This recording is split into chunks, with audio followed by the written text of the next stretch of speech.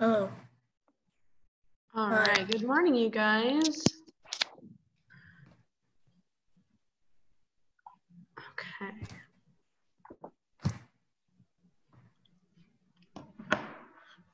All right.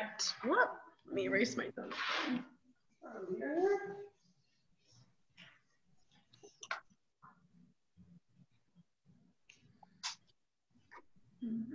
How you guys doing today? Good? All right. Um, let's see. Awesome. So you guys are here for sixth and seventh grade uh, science today. So that'll be super fun. We're gonna do a little more about plants, pollination, seed dispersal, um, and if we have time at the end, hopefully some soil. Um, so let me finish this real quick and then we will get started. So, uh, how's everyone's Wednesday going? Good? Good. All right. Um, awesome. More friends are coming, which is good. Okay, and then uh, if you guys could, Ricky, I got you. Is this fifth grade? Is uh sixth and seventh grade Oh, um, science. fifth grade isn't working. The fifth grade link isn't working? Okay, uh, let me see. Wait, I think my sister is entering. Okay. Uh, let's see.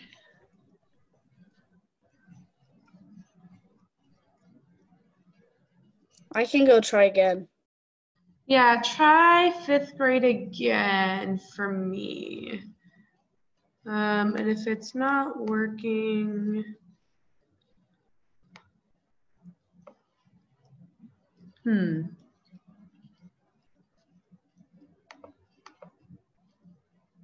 Yeah, let me see.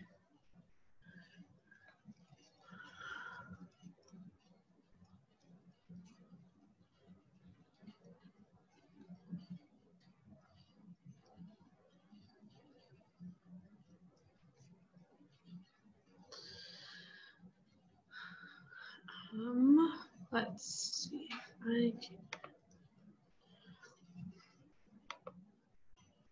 Hmm. Thank you for being patient, you guys. Aha. Um, it is three, four, two, one. Nine, bam, okay. So we are going to be sending, not sending, going over pollination today, which is awesome. And that just logged me out. Okay. So pollination, we are going to be talking about, awesome. Oliab we got. And Casey's here, awesome. We got someone else coming. All right, are you guys able to change your uh, first or change your um, uh, username type thing to be your first name? Hi, Nathan. If it's not Hi, already, Chris. just rename yourself your first name just because I'm trying to uh, make sure I've got everyone. Okay, so let's get started with some science. We are going to be talking about um, pollinators today. So I know you guys hopefully know what pollination is, yes? Yes, good, right? Okay, so we're getting pollination. Uh, so we are going to go into um, different types of pollinators and what kinds of uh, flowers that they are going to be attracted to because all of them, surprisingly or unsurprisingly, are different. So the first pollinator we are going to go over today is uh, actually. Ms. the wing. Yes. Can I go sharpen my pencil real quick?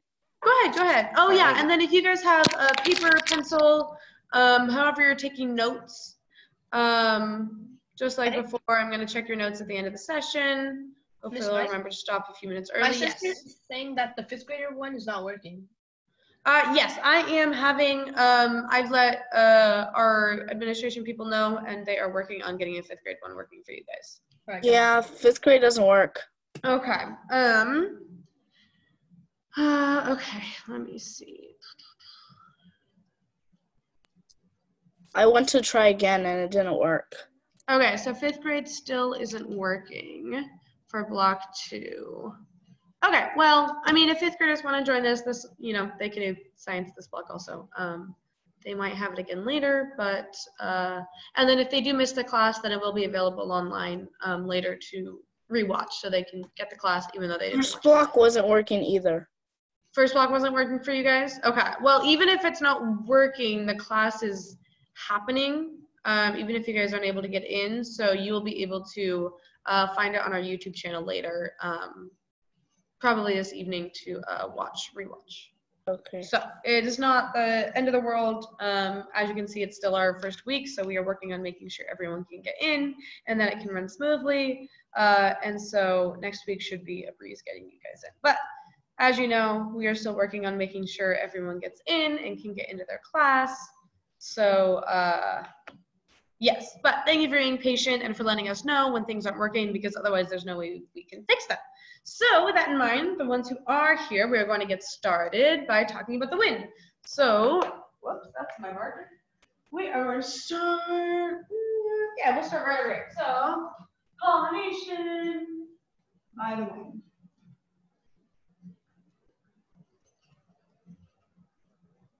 By wind. So, about 20% of all uh, angiosperm is plants that have flowers and seeds, and that's the way they reproduce, uh, which is most flowers and plants that we're going to talk about. Um, they are going to, 20% of them are going to rely on the wind. 20% of plants rely on the wind for pollination.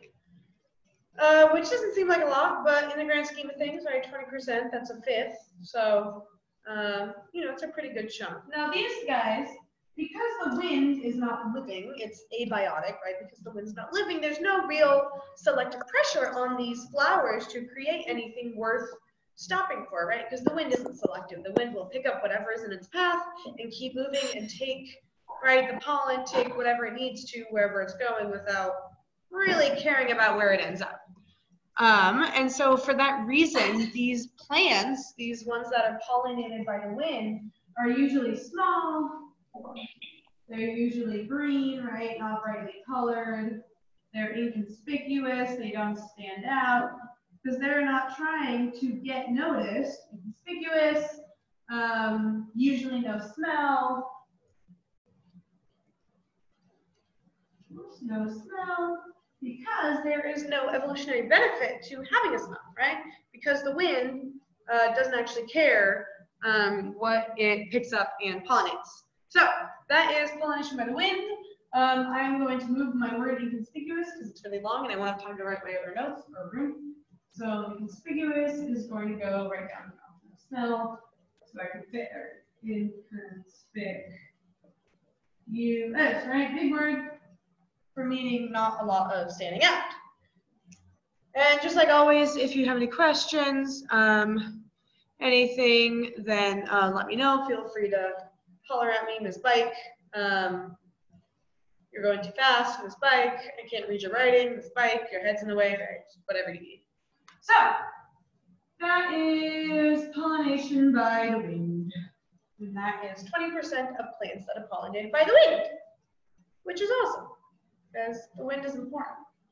Except when it's not windy, that makes it kind of hard to pollinate, right? So the next one, I'll go, I realize I'm moving kind of fast. I will go a little more slowly so that you guys can have time to write. And then like always at the end, I'll be checking, either you can screen share or you can uh, hold up your notes to the camera so that I can see your, uh, your notes.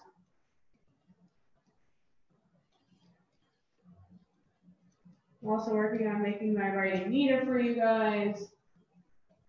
Because sometimes it's hard to see through the camera, I realize. So the next one we're going to go over, one you're probably hopefully all familiar with, is pollination by bees. Hopefully we know that bees are all pollinators, yes? Yes, you can nod, I can see you, yes. Good, thank you, Olia, thank you, my friends. Okay, good, good, good. So bees account for 65% of uh, plants, pollinating 65% of plants. Is that more than half?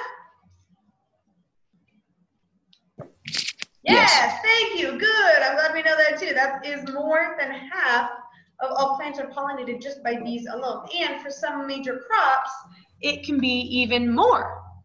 Um, so that is the crazy thing about bees is that they do about 65% of all plants. Now, often these are going to be brightly colored, these flowers, because they're trying to attract the attention of the bees. Brightly colored, uh, usually yellow or blue, but not red.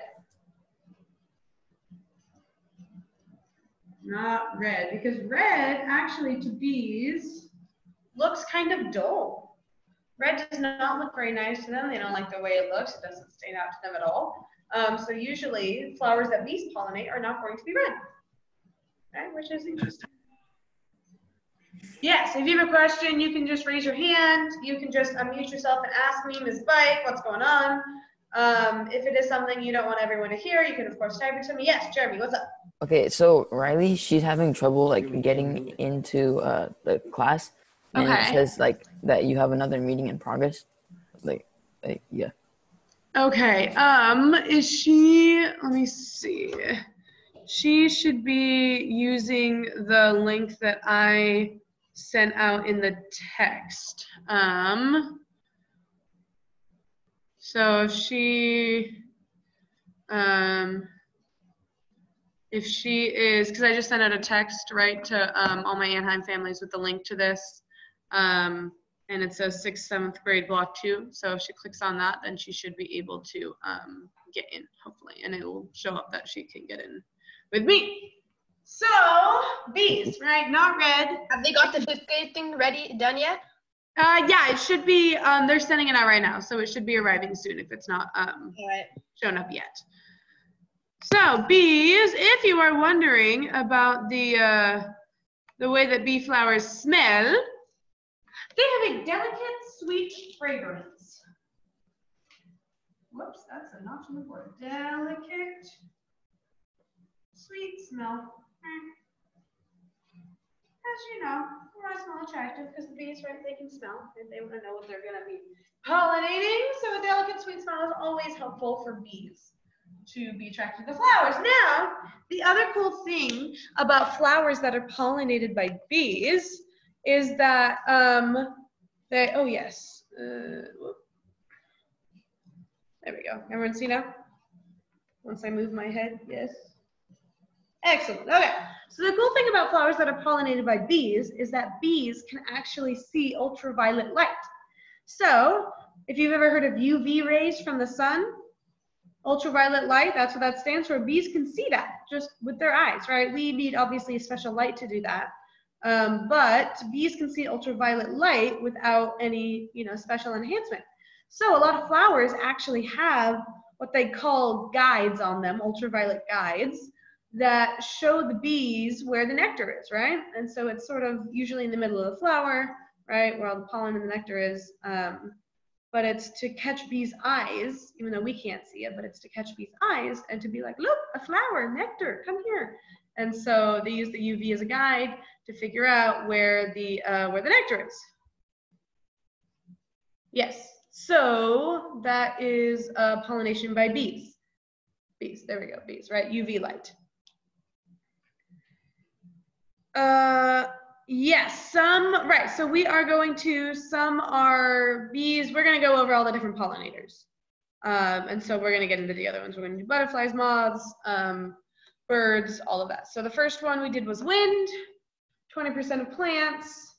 Um, and small, green, and conspicuous, usually no smell because uh, the wind does not care what flowers it picks up. And then uh, we just did bees, which is 65% of plants, and um, uh, usually yellow or blue, not red, because bees don't really aren't attracted to the color red. For some reason, they don't like it, and so uh, they will be going after the yellow and the blue flowers that have a light, sweet smell to them. So uh, I am going to move on to our next pollinator that we are going to talk about. Does anyone still need my wind notes?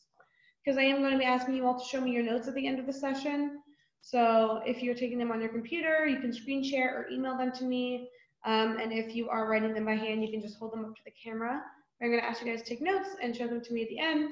So does anyone, you can give me a thumbs up or holler at me if you still need my wind notes. Can I erase those? I'm good. You good? All right.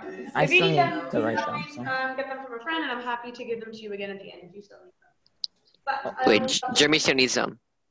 Huh? Still Jeremy need still them. needs the notes. Okay, well, I will, um, I'll reiterate it. So, what have you got? Twenty percent of plants, uh, usually small, green, and conspicuous, no particular smell, um, and that is pollination by the wind. Now, the next one we are going to be looking at, which one should we do next? We could do, uh, let's do bats, because I think bats are pretty cool. So pollination by bats. Um, make a small column for that. So bats are usually going to have um, flowers, or usually not like flowers. Well, when are bats awake? When are bats doing their pollinating? You can unmute yourself. Anyone?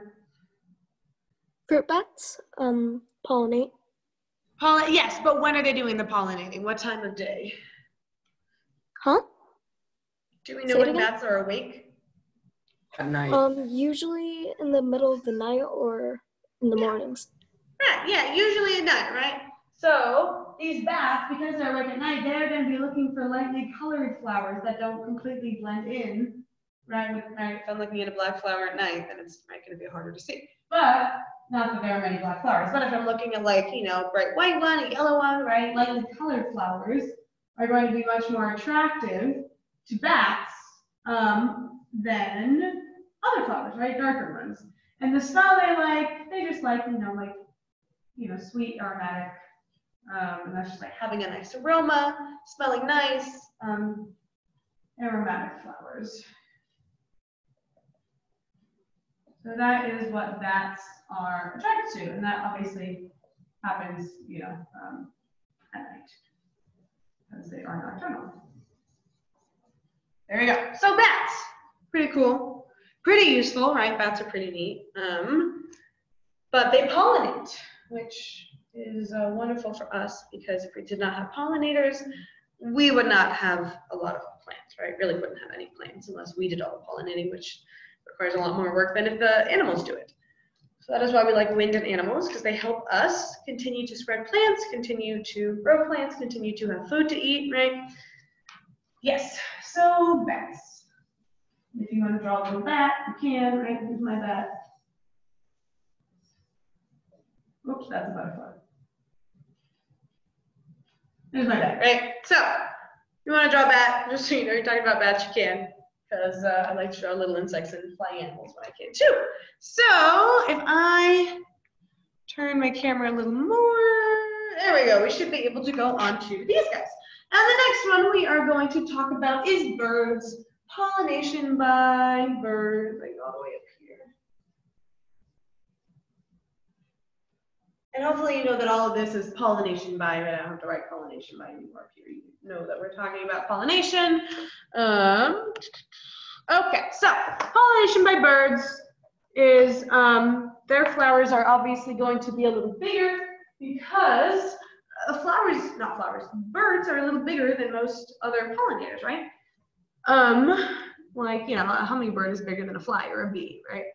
Um, so they're going to be bigger. They are going to be uh, brightly colored as well. because birds are, uh, you know, attracted to color. Larger, brightly colored, usually red or yellow.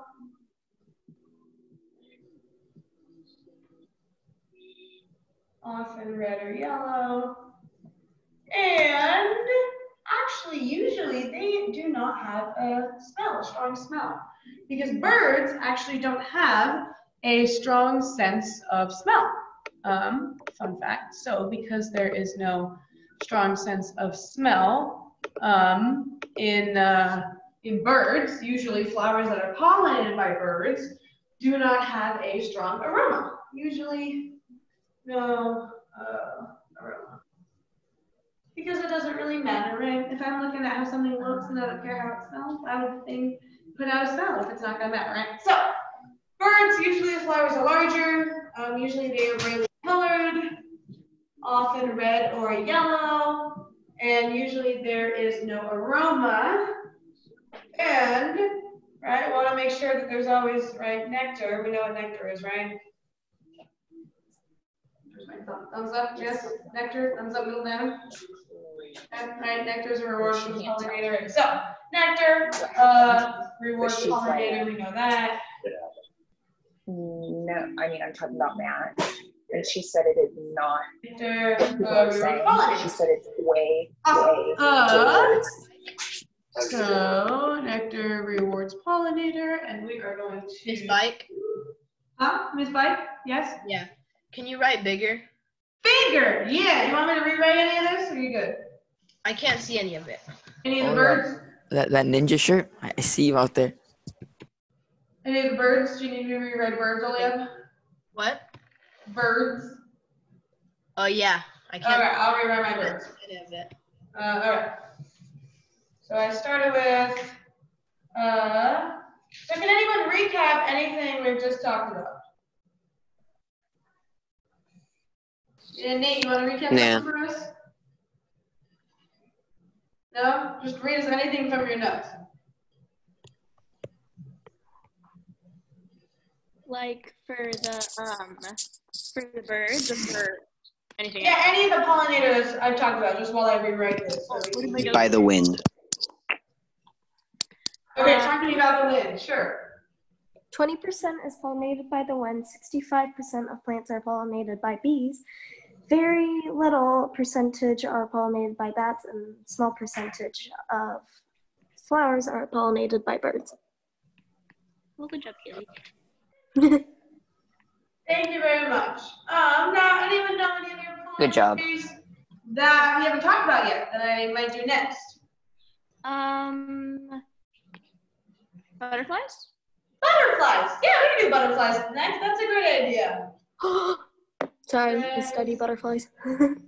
If you want to draw a bird, right, above your bird notes, um, you can do that too. Just to remind yourself. Larger flower, just like I'm writing in a larger size. Is that a better, Orlando? I study butterflies. Yes, no, maybe? What? Anyone, is that a better size for me to write in? Can you see better? I what? Sorry, I, you're raising I can like the volume. Yes? Yes? All right, thank you, thank you. Okay, uh, does everyone have my bee notes? Can I erase my bees? Yeah, I have your bean notes, don't worry. All right, I'm gonna erase bees so we can move on to butterflies. Uh, and moths, actually, those are grouped together in my uh, notes today. So we've got five, oops, actually, I'll erase this. Five moths and butterflies.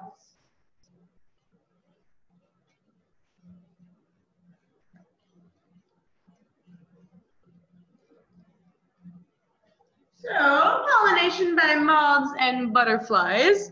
Um, moths are actually going to be attracted to uh, lighter colored flowers.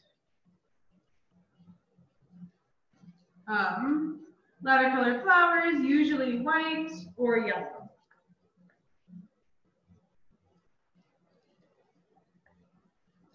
Usually white or yellow. And butterflies, I'm sorry, I'm left-handed, so you know, I'll move. Butterflies usually like brighter colors.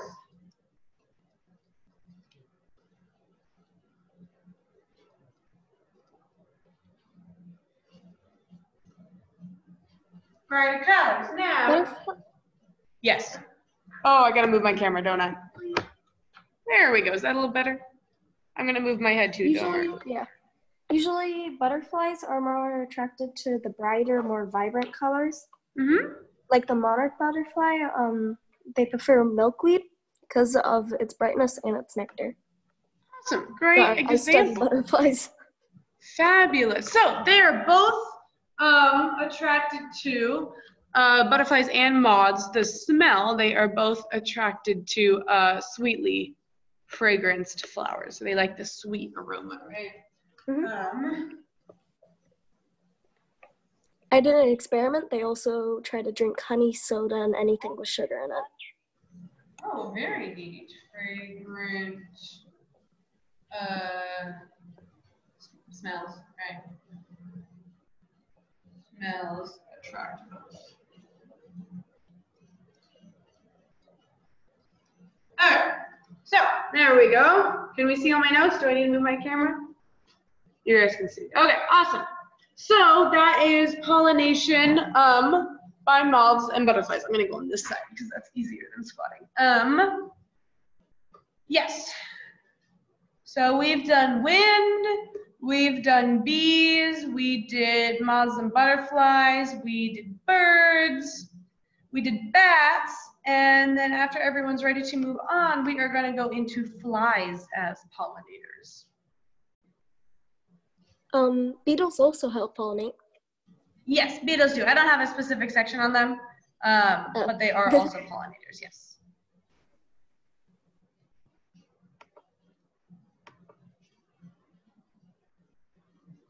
If you wanted to do research on beetles as pollinators and present that to us tomorrow, that would be awesome. Um, if you're feeling like it, but if not, that's totally fine too.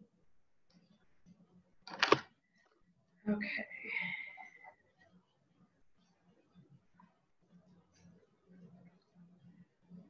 All right. Um, 12 of you, awesome. Glad to have you guys for joining in. Awesome, and we started this at 11, which means I still got 20 minutes left. I am good on time. How are we doing on notes? Good? More time? Good. Anyone need more time? No. Good. Okay. I'll wait a little longer before we go. I'll just start Yes, erasing. just a couple more minutes. I need to Yeah, write for this. Sure. Okay. I'm gonna get rid of birds. Does this mic work? All right. Yeah, it does. So yeah, it might seem kind of weird um, to talk about flies as pollinators because that's not something you often hear, but it's a very specific uh, flower really that the flies pollinate. So I'll just start talking about it before I write about it so you guys can listen. Uh, flies are attracted to the smell of uh, rotting meat, actually, right? And so they there's a flower that has evolved to smell like rotting meat. It's called the carrion flower, um, because uh, uh, it smells like carrion, right? Uh, carrion being C A R R I O N, um, which is another word for rotting flesh, basically. And so it's a flower that smells like rotting meat, and the fly's attracted to it because it thinks it's rotting meat. And so the fly tries to lay its eggs in what it thinks is the rotting meat. Uh, and then it turns out it's just a flower. And so when it leaves, it takes the pollen with it and can take it elsewhere, right, to pollinate. Uh, and then the eggs hatch, but the larva doesn't have anything to actually eat because it's just in a flower. And so the larva dies and uh, the flower is pollinated. And that is the uh, sad story of how flies are pollinators for carrion flowers. And then their little eggs, they hatch, but they die. But the flower survives, right? So not always a mutually beneficial relationship in the world of nature, right? Sometimes it's a, you know, fly, eat fly world. So how are we doing on notes? Good? I have Okay. all of that you've written. So, uh, I'm gonna write a few notes from my fly story I just told. Um, True story, of course. Um, but I'm gonna write a few of those notes on here. Supplies as pollinators. Uh, the carrion flower, C A R I O N, not C A R R Y I N apostrophe, right? Not carrion. Carrion is the rotting flesh. Carrion flowers, right? Smell like rotting meat. Like rotting meat. And that tricks the flies. Meat tricks flies into pollinating. How about that? Into pollinating. And we know that, um, fun fact about spelling is that um, pollen, whoops, yeah, this way. Uh, pollinating, pollen and pollinating um, actually um, uh, spelled differently, right? Because pollen is P O L L E N and pollinating is P O L L I N H E I N G, right? So, right, pollen itself is going to be, um, there we go, pollen itself is going to be uh, en, and then pollinating is going to be in, right? So that is, don't forget when you're spelling to make sure we're spelling en and in correctly. How are we doing on notes? Good. Who still needs more time to write down my fly notes? Anyone? Okay, a little more time for Okay. Yes. Yes. Okay. I'll give you guys a little more time. The Should we show you next. our notes right now? Yes. Sorry. Should What we show you our notes right now? Not yet. No, we still got more time. I'm gonna give you more stuff. We are not done. Can I borrow a pencil?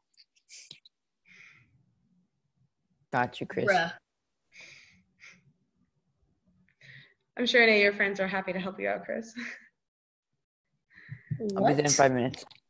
okay. Uh. Here you go, Chris.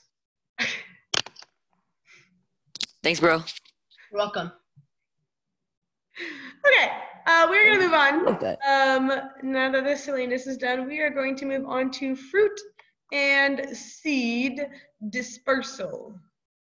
What does dispersal mean? Can anyone remind us what dispersal means? To disperse? I don't know any words, so I don't know what you're talking about. Anyone want to try and give us a helpful answer to what dispersal means? Dispersal, like this. No? No one wants to take a guess? Like giving out, sort of. Yeah, spreading out, right? So dispersing, if I'm dispersing it to you, right, I'm putting it all out there. So I'm dispersing stuff to you, like Derby said, giving it out, spreading it out. In this case, fruit and seed Spreading out in a wide area. Yeah, exactly. Spreading out in a wide area. So uh, that is how seeds are spread. And we're going to go over three main different ways that seeds are uh, spread around and get to grow more. Okay. So, uh, can I erase my moths and butterflies? E. Okay, I'm going to do that. And we are going to start talking about uh, fruit and seed dispersal. Whoops, dispersal. I got to use the eraser the right way for it to work. So, anyone have any ideas of how fruits and seeds could get spread out um, through nature, by nature? Any ideas? How on earth could it possibly happen? I you the first way. It's the same as the first way of pollinating, right? Fruit and seed dispersal. Can you see this far? Yeah, we're good. Fruit and seed dispersal. The first way, what was the first way of pollinating we talked about today? The wind. The wind, right. And that's the first way of dispersing seeds that we're going to talk about too. Awesome. Wind. Now, the seeds that are dispersed by the wind usually are going to have a shape, right? Kind of like a wing shape, right? They're going to be wide, probably pretty flat. something that will be easy to uh, carry through the wind, right? We want to make sure um, that it is possible for this seed to fly long distances. And so What's that thingy? Usually, they're going to have a wing shape. What was the question? A Picture? A picture? No, what's that picture thing? Oh, I just sort of drew like a, a what a seed could look like if it were um, winged, right? Wing shape for the wind. Um, I'll tell you the next way that seeds can be dispersed is uh, through the wind. No, not through the wind. I just said wind. Through the water. That's the other W word I meant. So through the water, some seeds can float for months or even years in uh, water to get to other places. Can anyone take a guess as to an example of right, a fruit seed that could float for a very long time in water? The idea is it might fall off of a tree, uh, on an island. Uh, there's milk inside. Uh, Troy, I'm going to turn off your brother's video. So, Troy, thank you. Thank you, Sebastian. Coconut, yes. Elijah, yeah, coconut. That's exactly what I was thinking of. Um, and yes, dandelion, good. Dispersal, right? Good, good, good. So, coconut is the main one I was thinking of uh, for dispersal through the water, right? Um, and right now, uh, I am looking for, uh, actually right here. So if you look, um, I'll share my screen real quick so you guys can see an example of uh, winged seeds. Um, so these are some examples of seeds that are sort of built um, so that they can uh, they can travel further in the wind. Yeah, can everyone see this? Yes. Okay, cool. So just an example so you guys can see, uh, I'm not just like randomly drawing that. It's like, right, winged seed so it can travel further in the wind. That is how things travel in the wind. Now the next one, what was the second one I just told you about?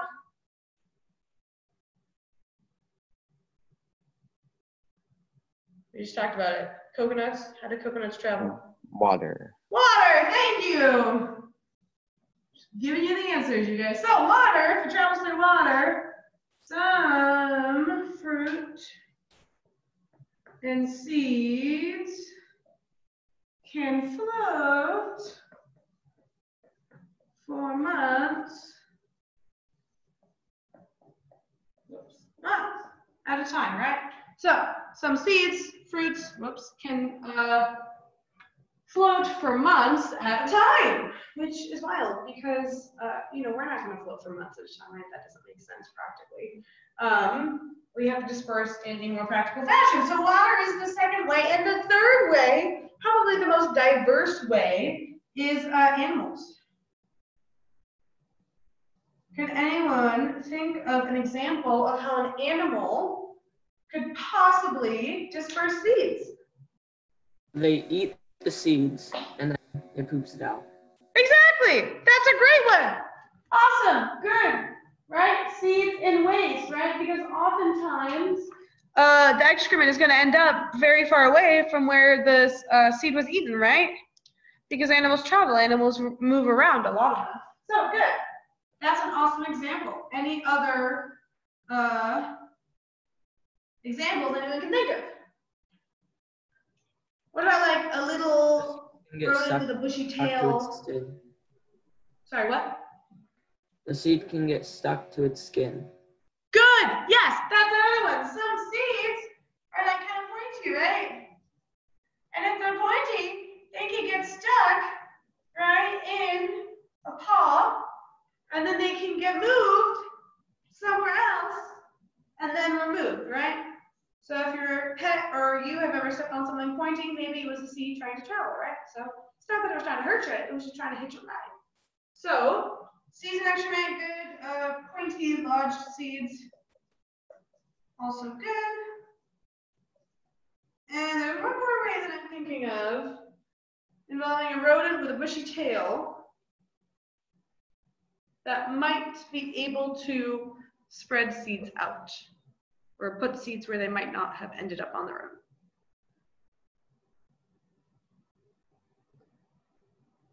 What if a squirrel stockpiles some nuts and then forgets about them? That's almost impossible. Almost impossible. But let's say they don't get them all, right?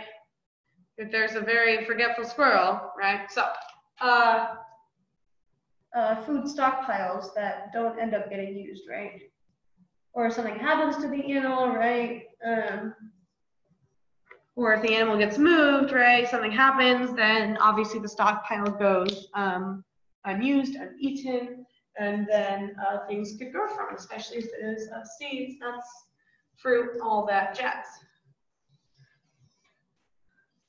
And those are the three main uh, seed dispersal methods, right? We've got wind, water, and animals. Almost three-way alliteration, but not quite. That would make me very happy if it were not. Oh, alliteration. Anyone tell me what an alliteration is?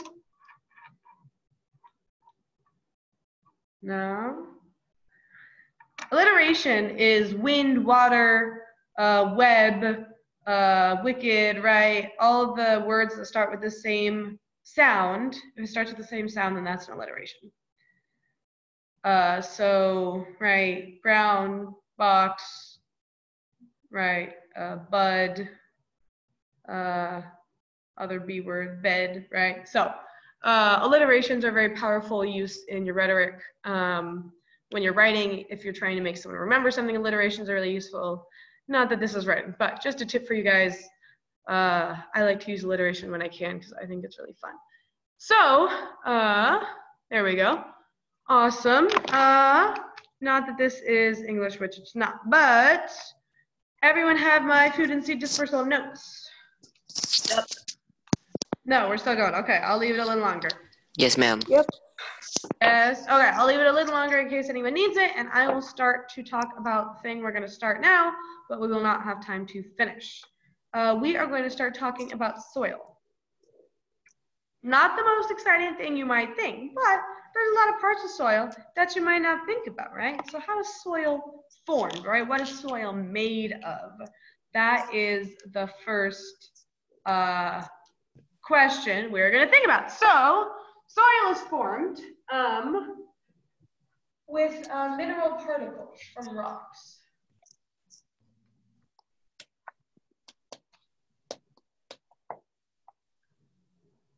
And how do we get these mineral particles, one might be wondering. I don't know if you are, but I'm definitely hoping that some of you are wondering, so I'm going to tell you how. Basically, there's a few different ways that it can happen.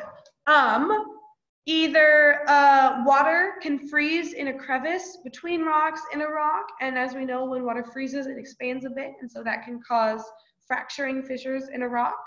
Um, there could be just sort of any sort of elemental pressure on the rocks uh, to cause fracturing. Um, uh, plant roots can also secrete acid that can break down rocks and then that can cause fracturing. But basically, rocks break into tiny little pieces.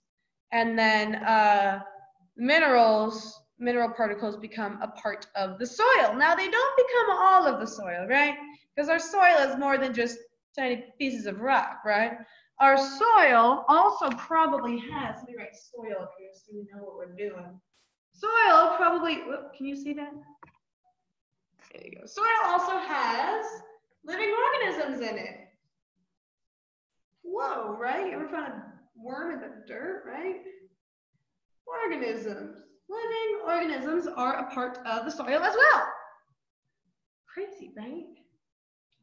Totally crazy. So, the last part of soil that we are going to uh, go over is called, wait for it, humus. H-U-M-U-S. It's not hummus.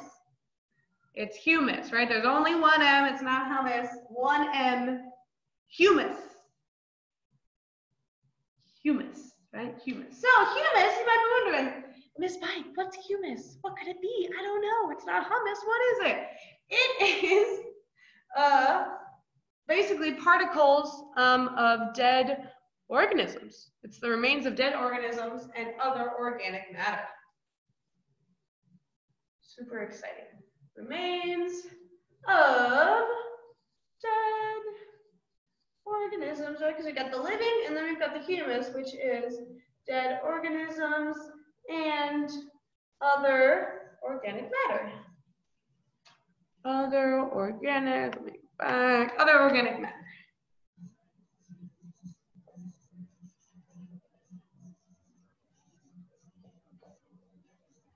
Woo, okay, so those are the three main parts of soil that we will be uh, starting with today. We will continue with soil. I don't know who needs what notes. We will continue with soil. Do you know what Uh, time your next class starts at? Next class. Your next class starts at 12:10 today, I want to say. Um, yes. Twelve ten. 12:10, yeah. So if you log on at 12:10, you should be good.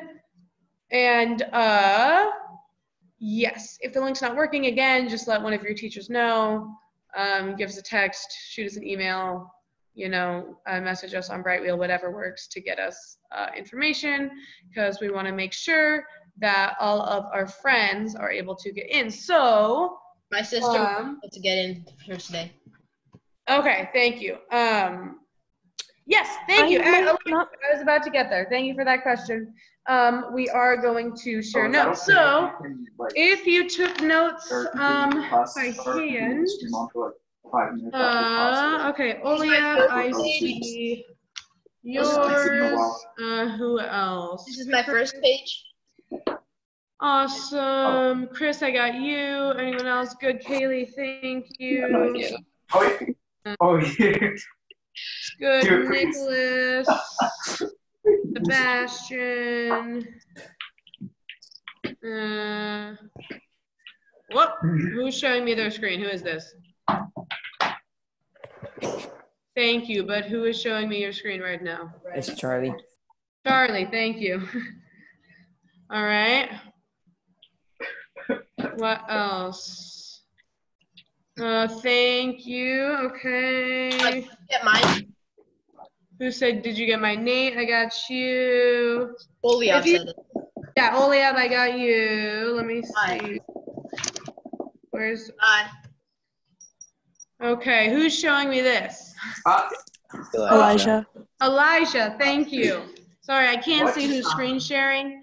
Um, okay, um, yes, if I have seen your notes and said, yes, I have your notes, uh, you are, uh, Do you need to see free to mine? disconnect. Your next class will Oh, start at twelve ten.